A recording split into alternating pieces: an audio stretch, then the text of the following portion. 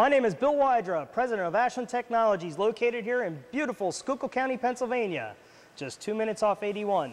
And we're going to show you how we turn metal into thrills.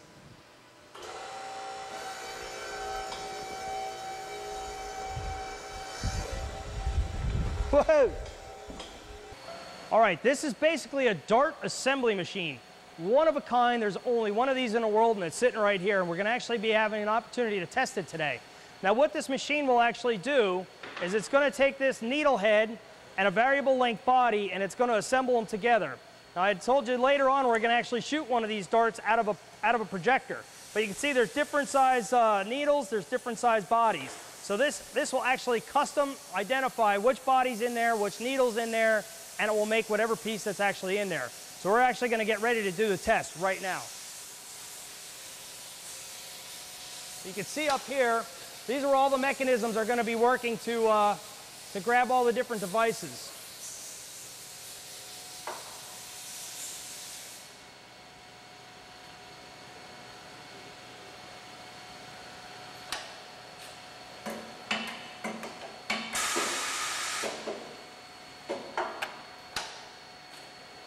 So now it's starting to get the pieces.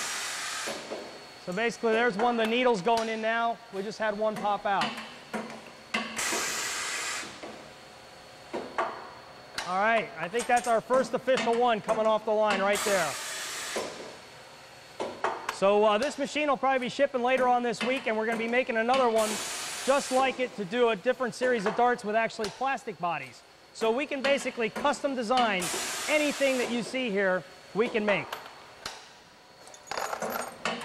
So if we go over here to the table, we're going to have the opportunity to see some of the other components that we make. You saw the first rifle we had, and I'm going to actually show you a little more close-up of that in a second. These guns are actually uh, sold by Pneu-Dart, the premier maker in the industry of, of projectors. So this actually has no internal charge into it. It actually is all driven by air. So this right here is where the air would go on. Now, the reason I was telling you earlier that we have a 70 tool changer, the reason that that's important is we basically used to make these components for, for this customer, and what we would do is we would make a 100 of this. We'd then make a 100 of this. We'd then make a 100 of this, and a 100 of this. And, you know, basically, the problem there was the fact that it would take us sometimes two and a half months just to be able to put together an entire set of 100 units.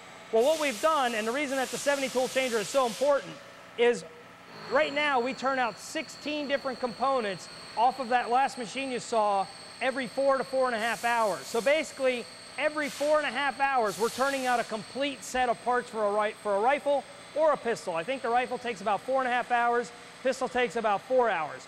But you can see on this, there's just endless internal keyways in these parts. And and they take sometimes 45 minutes a cycle. So now we're actually able to include that into one setup, and while the guy is actually uh, running that, he now has the opportunity to run multiple machines because he has a longer setup.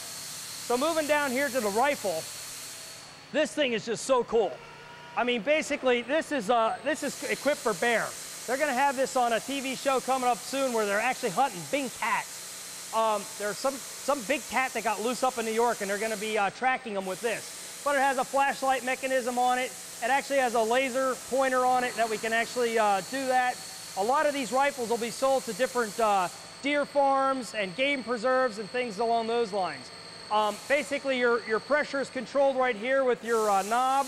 And then in the back here, we can see what our pressure rating is. So that gives us the opportunity to be able to see what range it is. So if you're shooting a rhinoceros, you're going to want to have the pressure up a little higher than you might for a deer. And most of the times these aren't used to kill animals in any way, shape, or form. It's actually used to administer medicine to an animal. Um, you know, when you have a big open range of deer, it's very difficult to get up close enough to them to actually inject the medicine. So this is what allows them to be able to do that. These are sold again all throughout the world. Australia is a very, very big um, market for these particular type of, of units. This is a one of a kind in their industry. We used to actually make components for a 22 caliber rifle that we converted into an air gun, but now Blair, the uh, Blair Swords, the owner, just an incredible visionary, had the uh, foresight to come up with his own rifle. And uh, I applaud him for that, and we're more than happy to make them. Now we're to actually do a little bit of a test of these too. So uh, let's see what we got. All right. All right, so uh, what we're shooting here today, basically uh, Big Bear here in Pennsylvania. And we have a successful shot. I hope you enjoyed our tour of how we turn metal into thrills. And uh, again, like I was saying in the laser room, you know, it really boils down to people. You know, certainly we love our games, we love our rides, and we certainly are real happy with our partners in the roller coaster industry, the gyroscopes, the basketball games, the dart guns, and all the different things that we make. But, uh, you know, without the people and some of the organizations that really have supported us through the years, we wouldn't be able to be here. So until next time, hopefully we'll see you in the park riding on some of our rides.